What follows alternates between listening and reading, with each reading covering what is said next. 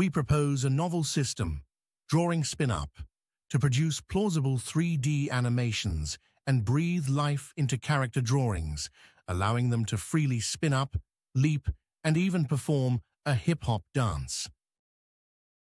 Last year, Smith's team proposed an interesting method for animating children's drawings.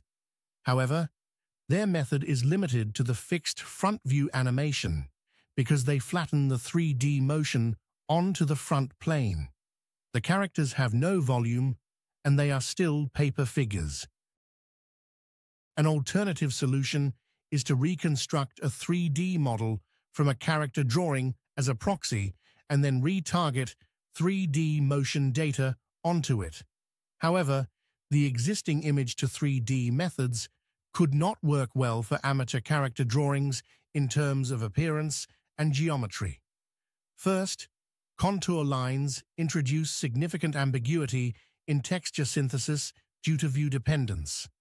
Second, thin regions are often difficult to reconstruct accurately due to their delicate structures. Unlike photorealistic images merely with texture details, we observe character drawings often exhibit diverse types of strokes, including interior lines and contour lines, as shown in this picture.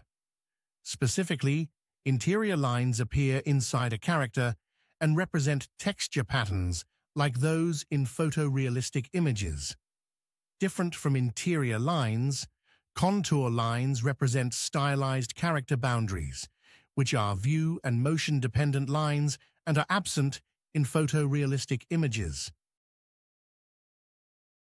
This figure illustrates the DrawingSpinUp pipeline. We first remove and in-paint the contour regions of the input drawing using an image-to-image -image translation network.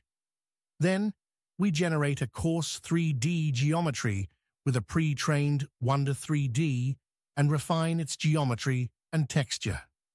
Next, we retarget the 3D motion to create an animation sequence. Finally, we use a geometry-aware stylization network to restore the original drawing style for each animation frame. Let us examine more comparison results between our DrawingSpinUp and existing 2D and 3D animation methods. Compared with the results generated by Smith et al., which only exhibit planar motion projected from the 3D motion of the limbs and fail to capture the tilting of the body or head, our method produces plausible 3D-aware animations that faithfully reflect the provided 3D motion. Compared with DreamGaussian and Wonder3D, which always generate messy textures due to contour ambiguity, our method maintains consistent styles with the input drawings and produces natural contour lines. Next, let us view more animation results generated by our DrawingSpinUp.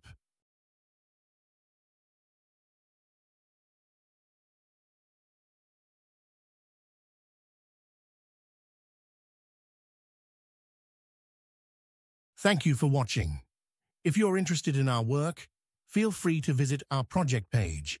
The link is below.